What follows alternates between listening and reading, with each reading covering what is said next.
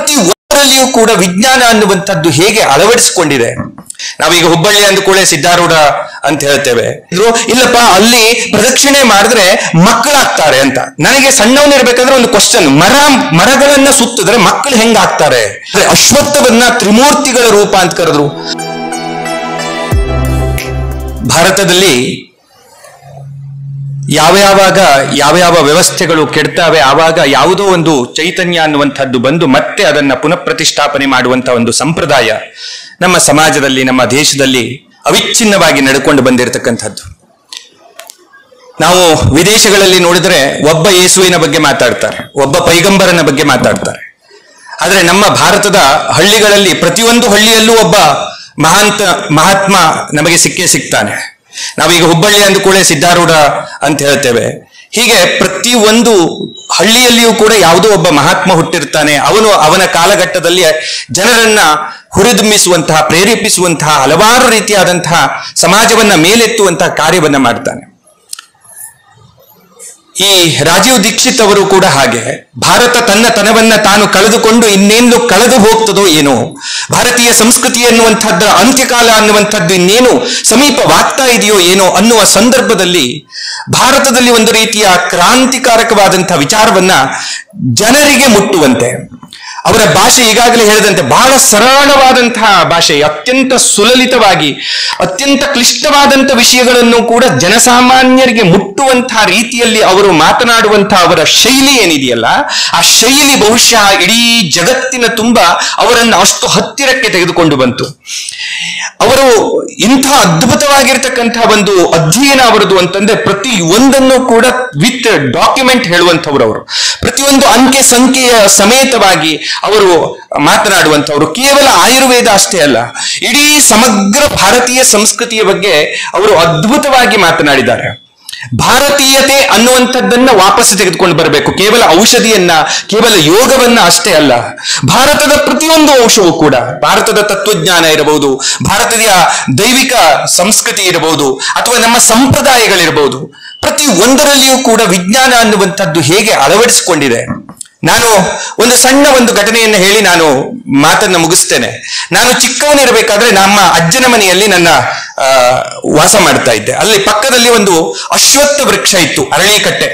ಆ ಅರಳಿಕಟ್ಟೆಗೆ ಬೆಳಗ್ಗೆ ಎದ್ದು ಎಲ್ಲ ಹೆಣ್ಣು ಮಕ್ಕಳು ಬಂದು ಒಂದು ಚರಿಗೆ ನೀರನ್ನ ಹಾಕಿ ಅದರ ಪ್ರದಕ್ಷಿಣೆ ಮಾಡ್ತಾ ಇದ್ರು. ಪ್ರದಕ್ಷಿಣೆ ಮಾಡಿದಾಗ ನಾನು ಕೇಳ್ತಿದ್ದೆ, ಇವರೆಲ್ಲ ಭಾಗ, ಯಾಕೆ ಬಂದು ಇಲ್ಲಿ ಪ್ರದಕ್ಷಿಣೆ ಮಾಡ್ತಾರೆ ಅಂತ ನಮ್ಮ ಅಜ್ಜಿ ಹತ್ರ ಕೇಳ್ತಿದ್ದೆ. ಅಲ್ಲಿ ಒಂದು ಸಂಪ್ರದಾಯ ಏನಿತ್ತು ಅಂತಂದ್ರೆ ಯಾರಿಗೆ ಮಕ್ಕಳಾಗೋದಿಲ್ಲ, ಅವರು ಬಂದು ಆ ಅಶ್ವತ್ಥ ವೃಕ್ಷವನ್ನ ಪ್ರದಕ್ಷಿಣೆ ಮಾಡ್ತಾರೆ. ನೂರ ಎಂಟು, ಒಂದ್ ಸಾವಿರದ ಎಂಟು, ಹೀಗೆ ಪ್ರದಕ್ಷಿಣೆ ಮಾಡುವವರು. ಅರ್ಧ ತಾಸು, ಒಂದು ತಾಸು ಅವರು ಪ್ರದಕ್ಷಿಣೆ ಮಾಡ್ತಾ ಇರ್ತಾ ಇದ್ರು. ಆಗ ನಾನು ಅಜ್ಜಿ ಹೇಳ್ತಿದ್ರು, ಇಲ್ಲಪ್ಪ, ಅಲ್ಲಿ ಪ್ರದಕ್ಷಿಣೆ ಮಾಡಿದ್ರೆ ಮಕ್ಕಳಾಗ್ತಾರೆ ಅಂತ. ನನಗೆ ಸಣ್ಣವನಿರ್ಬೇಕಾದ್ರೆ ಒಂದು ಕ್ವಶನ್ ಮರ, ಮರಗಳನ್ನ ಸುತ್ತಿದ್ರೆ ಮಕ್ಕಳು ಹೆಂಗಾಗ್ತಾರೆ? ಅನ್ನುವಂಥದ್ದು ಒಂದು ದೊಡ್ಡ ಪ್ರಶ್ನೆ. ಆಮೇಲೆ ನಾನು ಕಾಲೇಜಿಗೆ ಬಂದೆ. ಕಾಲೇಜಿನಲ್ಲಿ ನಾನು ಸಂಸ್ಕೃತವನ್ನ ತೆಗೆದುಕೊಂಡು ಎಂ ಎ ಮಾಡಿದೆ ಪಿ ಎಚ್ ಡಿ ಮಾಡಿದೆ. ಆಗ ನಾನು ಬೇರೆ ಬೇರೆ ಗ್ರಂಥಗಳನ್ನ, ಆಯುರ್ವೇದವನ್ನ ಎಲ್ಲವನ್ನ ಅಧ್ಯಯನ ಮಾಡ್ತಾ ಮಾಡ್ತಾ ನನಗೆ ಒಂದು ಅರ್ಥ ಆಯ್ತು. ಏನು ಅಂದ್ರೆ ಅಶ್ವತ್ಥ ವೃಕ್ಷ ಅನ್ನುವಂಥದ್ದು ಎಲ್ಲ ವೃಕ್ಷಗಳಿಗಿಂತಲೂ ಅತಿ ಹೆಚ್ಚು ಆಕ್ಸಿಜನ್ ಅನ್ನ ಪ್ರೊಡ್ಯೂಸ್ ಮಾಡುವಂತ ಒಂದು ವೃಕ್ಷ. ಆ ಆಕ್ಸಿಜನ್ ಅದು ಅದು ಒಂದೇ ವೃಕ್ಷ. ಅದಕ್ಕಾಗಿ ಅಶ್ವತ್ಥ ವೃಕ್ಷವನ್ನ ಏನು ಕೇಳಿದ್ರು ಅಂದ್ರೆ ವೃಕ್ಷಗಳ ರಾಜ ಅಂತ ಕರೆದ್ರು. ಅಶ್ವತ್ಥ ವೃಕ್ಷಕ್ಕಿಂತಲೂ ದೊಡ್ಡದಾಗಿ ಬೆಳೆಯುವಂತಹ ಆಲದ ವೃಕ್ಷ ಇದೆ. ಇನ್ನು ಓಕ್ ವೃಕ್ಷಗಳು ಅಂತ ಬೇರೆ ಬೇರೆ ದೇಶಗಳಲ್ಲಿ ದೊಡ್ಡ ದೊಡ್ಡದಾಗಿ ಬೆಳೆಯುವಂತಹ ವೃಕ್ಷಗಳಿದ್ದಾವೆ ಆದ್ರೆ ಆ ಯಾವ ವೃಕ್ಷವನ್ನು ಕೂಡ ಅಶ್ವತ್ಥ ಮರಗಳ ರಾಜ ಅಂತ ಕರೆದಿಲ್ಲ. ಆದ್ರೆ ಅಶ್ವತ್ಥವನ್ನ ತ್ರಿಮೂರ್ತಿಗಳ ರೂಪ ಅಂತ ಕರೆದ್ರು. ವೃಕ್ಷ ಮೂಲೆ ಸ್ಥಿತೋ ಬ್ರಹ್ಮ ವೃಕ್ಷ ಮಧ್ಯೆ ಜನಾರ್ದನ ವೃಕ್ಷಾಂತೆ ಶಂಕರೋ ಯಸ್ಯ ವೃಕ್ಷರಾಜಂ ನಮೋಸ್ತುತೆ ಅಂತ ಹೇಳಿ ಅಶ್ವತ್ಥ ವೃಕ್ಷವನ್ನ ನಮಸ್ಕಾರ ಮಾಡಿದ್ರು. ಯಾಕೆ? ಯಾಕೆಂದ್ರೆ ಅದು ಆಕ್ಸಿಜನ್ ಅನ್ನ ಪ್ರೊಡ್ಯೂಸ್ ಮಾಡುತ್ತೆ. ಇವತ್ತಿನ ಸೈನ್ಸ್ ಹೇಳುತ್ತೆ ಒಂದು ಅಶ್ವತ್ಥ ವೃಕ್ಷ ಸಾಮಾನ್ಯವಾಗಿ ಒಂದು ಹಳ್ಳಿಗೆ ಸಾಕಾಗುವಷ್ಟು ಆಕ್ಸಿಜನ್ ಅನ್ನ ಒಂದು ದಿವಸಕ್ಕೆ ಕೊಡುತ್ತೆ. ಒಂದೇ ಒಂದು ಅಶ್ವತ್ಥ ವೃಕ್ಷ. ನೋಡಿ, ಅದರ ಪಕ್ಕದಲ್ಲಿ, ಅದರ ಸುತ್ತಲೂ ಇವರು ಸುತ್ತಾಡೋದ್ರಿಂದ ಏನಾಗ್ತಾ ಇದೆ ಅಂತಂದ್ರೆ ಅವರು ಪ್ರದಕ್ಷಿಣೆ ಮಾಡ್ತಾ ಇದ್ದಾರೆ. ಪ್ರದಕ್ಷಿಣೆ ಮಾಡೋದ್ರಿಂದ ಏನಾಗ್ತಾ ಇದೆ? ವಾಕಿಂಗ್ ಆಗ್ತಾ ಇದೆ. ವಾಕಿಂಗ್ ಆದಾಗ ಮನುಷ್ಯನ ದೇಹ ಅನ್ನುವಂಥದ್ದು ಹೀಟ್ ಆಗತ್ತೆ. ಆಗ ಆಕ್ಸಿಜನ್ ಅನ್ನ ಹೆಚ್ಚು ಹೆಚ್ಚು ಕನ್ಸ್ಯೂಮ್ ಮಾಡುವಂತಹ ಒಂದು ಪ್ರಕ್ರಿಯೆ ಪ್ರಾರಂಭ ಆಗತ್ತೆ. ಉಸಿರಾಟ ಹೆಚ್ಚಾಗತ್ತೆ ನಡೆಯೋದ್ರಿಂದ, ಪ್ರದಕ್ಷಿಣೆ ಮಾಡೋದ್ರಿಂದ. ಅದರಿಂದ ಆಕ್ಸಿಜನ್ ಅನ್ನುವಂಥದ್ದು ಅವರ ದೇಹದಲ್ಲಿ ಹೆಚ್ಚೆಚ್ಚು ಪ್ರಮಾಣದಲ್ಲಿ ಬರುತ್ತೆ. ಯಾವಾಗ ಶುದ್ಧವಾದಂತಹ ಆಮ್ಲಜನಕವನ್ನ ನಿಮ್ಮ ದೇಹ ಅನ್ನುವಂಥದ್ದು ತೆಗೆದುಕೊಳ್ಳುತ್ತೋ ಅಲ್ಲಿ ನಿಮ್ಮ ದೇಹದಲ್ಲಿ ಇರತಕ್ಕಂತ ಇಂಬ್ಯಾಲೆನ್ಸ್ ಗಳೆಲ್ಲವುಗಳು ಕೂಡ ಬ್ಯಾಲೆನ್ಸ್ ಆಗ್ಲಿಕ್ಕೆ ಪ್ರಾರಂಭ ಆಗ್ತವೆ. ನಿಮ್ಮಲ್ಲಿ ಎಲ್ಲಾ ರೀತಿಯಾದಂತಹ ಸೆಲ್ಸ್ಗಳು ಡೆವಲಪ್ಮೆಂಟ್ ಆಗ್ಲಿಕ್ಕೆ ಪ್ರಾರಂಭ ಆಗುತ್ತೆ. ಇದರಿಂದ ಅವರಲ್ಲಿ ಏನು ಬಂಜೆತನ ಅನ್ನುವಂಥದ್ದು ಇರ್ತಿತ್ತು. ಆ ಬಂಜೆತನ ಅನ್ನುವಂಥದ್ದು ನಿಧಾನ ನಿಧಾನ ನಿಧಾನವಾಗಿ ಹೋಗಿ ಅವರ ದೇಹ ಅನ್ನುವಂಥದ್ದು ಸಮವಾಗಿ ಏನು ಕೆಲಸ ಮಾಡಬೇಕು ಆ ರೀತಿ ಕೆಲಸ ಮಾಡ್ತಾ ಇತ್ತು. ಇದರಿಂದ ಅವರಿಗೆ ಮಕ್ಕಳಾಗ್ತಾ ಇತ್ತು. ನೋಡಿ, ಒಂದು ಸಂಪ್ರದಾಯ. ಅಶ್ವತ್ಥ ನಾರಾಯಣನ ಸೇವೆಯನ್ನ ಮಾಡೋದ್ರಿಂದ ನಿಮಗೆ ಮಕ್ಕಳಾಗತ್ತೆ ಅಂತ ಹಿಂದಿನವರು ಹೇಳ್ತಾ ಇದ್ರು. ಇದರ ಹಿಂದೆ ಎಷ್ಟು ದೊಡ್ಡದಾದಂತ ಒಂದು ಸೈನ್ಸ್ ಇದೆ, ವಿಜ್ಞಾನ ಇದೆ.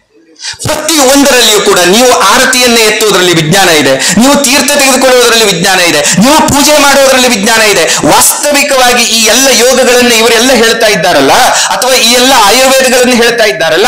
ಸಾಂಪ್ರದಾಯಿಕವಾಗಿ ದೇವರ ಪೂಜೆಯನ್ನ ನೀವು ಮಾಡಿಬಿಡಿ, ಎಲ್ಲ ಯೋಗಗಳು ಬರ್ತಾವೆ ಅಲ್ಲಿ. ನಮ್ಮ ಭಾರತೀಯ ಸಂಸ್ಕೃತಿಯಲ್ಲಿ ದೇವ ಪೂಜೆಯನ್ನು ಒಂದು ಅಂಗ ಮಾಡಿದ್ರು. ನಾವು ಕುತ್ಕೊಂಡುಕೊಳ್ಳಿ, ಇವತ್ತೇ ನಾನು ನಾನು ಈಗ ಬೆಳಗ್ಗೆ ಪೂಜೆ ಮಾಡ್ಬೇಕಾದ್ರೆ ಆಚಮ್ಯ ಪ್ರಾಣಾಯಾನಮ್ಯ ದೇಶಕಾಲವು ಸಂಕೀರ್ತಿ ಅಂತಾನೆ ಶುರು ಮಾಡುದು. ಆಸನ ಪ್ರಾಣಾನಾಯಮ್ಯ ಬದ್ಲಿಗೆ ಆಸನವನ್ನ ಹಾಕಿಕೋ, ಪದ್ಮಾಸನದಲ್ಲಿ ಕುಳಿತುಕೋ, ಅಲ್ಲಿ ಆಸನ ಬಂತು. ಪ್ರಾಣಾನಾಯಮ್ಯ ಪ್ರಾಣಾನಾಯಮವನ್ನ ಮಾಡು. ದೇಶಕಾಲವು ಸಂಕೀರ್ತ್ಯ, ಇವತ್ತು ದೇಶ ಯಾವುದು, ಯಾವ ಕಾಲದಲ್ಲಿ ನೀನು ಮಾಡ್ತಾ ಇದ್ದೀಯಾ? ಅನ್ನುವಂಥದ್ದನ್ನ ಹೇಳು. ಅದರ ನಂತರದಲ್ಲಿ ಲಂ ಪೃಥಿವಿ ಆತ್ಮನೇನೆ ಗಂಧಂ ಸಮರ್ಪಯಾಮಿ ಹಮ್ಮ ಆಕಾಶಾತ್ಮನೆ ಪುಷ್ಪಂ ಎಲ್ಲ ಮುದ್ರೆಗಳು ಅಲ್ಲಿ ಬರ್ತಾವೆ. ನೋಡಿ, ಒಂದು ಸಾಂಪ್ರದಾಯಿಕ ನಾವು ಸಂಪ್ರದಾಯವನ್ನ ನಾವು ಎಂದು ಕೈ ಬಿಟ್ವಿ, ಅಲ್ಲಿಂದಲೇ ಭಾರತೀಯ ಸಂಸ್ಕೃತಿಯನ್ನ ನಾವು ಬಿಡ್ತಾ ಬಂದಿದ್ದೀವಿ. ಇನ್ನೊಂದು ಮಾತು, ಎಲ್ಲರೂ ಕೂಡ ನಮ್ಮ ಸಂಪ್ರದಾಯದಲ್ಲಿ ಎಲ್ಲ ಸಂಪ್ರದಾಯಗಳಲ್ಲಿಯೂ ಕೂಡ ಒಂದು ವೈಜ್ಞಾನಿಕತೆ ಎನ್ನುವಂಥದ್ದಿದೆ. ಕೆಲವೊಂದು ಮೂಢನಂಬಿಕೆಗಳು ಸೇರ್ಕೊಂಡಿದ್ದಾವೆ, ಇಲ್ಲ ಅಂತ ನಾನು ಹೇಳೋದಿಲ್ಲ. ಅದದು ಆವಾವ ಪ್ರದೇಶದಲ್ಲಿ ಒಂದಷ್ಟು ಸಂಪ್ರದಾಯಗಳು ಸೇರಿಕೊಂಡು ಶಾಸ್ತ್ರವನ್ನ ಹಾಳು ಮಾಡುವಂತಹ ಸಂಪ್ರದಾಯಗಳು ನಮ್ಮಲ್ಲಿ ಇದ್ದಾವೆ. ಆದರೆ ನಿಜವಾಗಿಯೂ ಶಾಸ್ತ್ರ ಹೇಳುವಂತಹ ಏನು ವ್ಯವಸ್ಥೆ ಇದೆ, ಆ ವ್ಯವಸ್ಥೆ ಎಷ್ಟು ವೈಜ್ಞಾನಿಕವಾಗಿರತಕ್ಕಂಥ ವಿಷಯ ಅನ್ನುವಂಥದ್ದು ಇನ್ನೊಂದು ಇಲ್ಲ.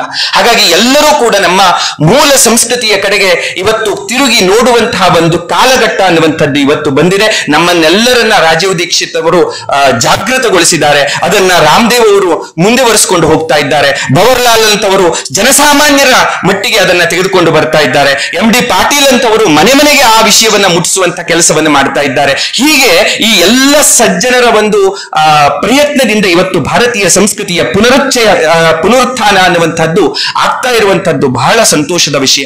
ಹಾಗಾಗಿ ನಮ್ಮ ಸಂಪ್ರದಾಯ, ನಮ್ಮ ಆಹಾರ ಪದ್ಧತಿ ನಮ್ಮ ದೇವತಾ ಪದ್ಧತಿ ದೇವ ಪೂಜಾ ಪದ್ಧತಿ, ಇವುಗಳನ್ನೆಲ್ಲವನ್ನ ನಾವು ಅಳವಡಿಸಿಕೊಂಡು ಹೋದಷ್ಟು ನಮ್ಮ ಆರೋಗ್ಯ, ಮಾನಸಿಕ ಆರೋಗ್ಯ, ದೈಹಿಕ ಆರೋಗ್ಯ, ಸಾಮಾಜಿಕ ಆರೋಗ್ಯ, ದೇಶದ ಆರೋಗ್ಯ, ಎಲ್ಲ ರೀತಿಯಾದಂತಹ ಆರೋಗ್ಯವನ್ನು ನಾವು ಕೂಡ ಪಡೆಯಬಹುದು. ಇನ್ನೊಂದು ವಿಷಯ ಅಂತಂದ್ರೆ ಏನು, ಆಲಸ್ಯಂ ಹಿ ಮನುಷ್ಯಾನಾಂ ಶರೀರಸ್ಥೋ ಮಹಾನ್ ರಿಪುಹು ಅಂತ. ಇವತ್ತೆಲ್ಲದಕ್ಕೂ ದೊಡ್ಡದಾಗಿರ್ತಕ್ಕಂಥ ವಿಷಯ, ಎಲ್ಲದಕ್ಕೂ ಮೂಲ ಕಾರಣ ಅಂದ್ರೆ ನಮ್ಮಲ್ಲಿರ್ತಕ್ಕಂಥ ಆಲಸ್ಯ.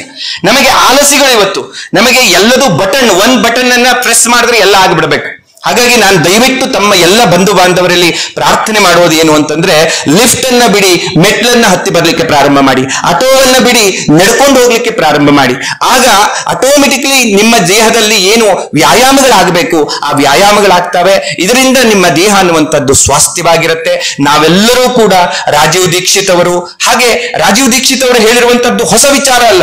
ನಮ್ಮ ಸನಾತನ ಹಿಂದೂ ಸಂಸ್ಕೃತಿಯಲ್ಲಿ ನಮ್ಮ ಋಷಿಗಳು, ಮುನಿಗಳು ಸಪ್ತ ಋಷಿಗಳು ದೇವ ಋಷಿಗಳು ಏನನ್ನ ಹೇಳಿದ್ರು, ಅದನ್ನ ಮತ್ತೊಮ್ಮೆ ಜಾಗೃತ ಮಾಡಿ ಅವರು ನಮಗೆ ಕೊಟ್ಟಿದ್ದಾರೆ. ಅಂತಹ ಒಂದು ಸಾಂಪ್ರದಾಯಿಕವಾಗಿರ್ತಕ್ಕಂತಹ ಏನು ನಮ್ಮ ವಿಚಾರಧಾರೆಗಳಿದ್ದಾವೆ, ಅವುಗಳ ಕಡೆಗೆ ಮತ್ತೊಮ್ಮೆ ನಾವು ತಿರುಗಿ ನೋಡಿ ನಮ್ಮ ಜೀವನವನ್ನ ಸುಸಂಸ್ಕೃತವಾದಂತಹ ಒಂದು ಆರೋಗ್ಯಪೂರ್ಣವಾದಂತಹ ಜೀವನವನ್ನಾಗಿ ನಾವೆಲ್ಲರೂ ಮಾಡೋಣ.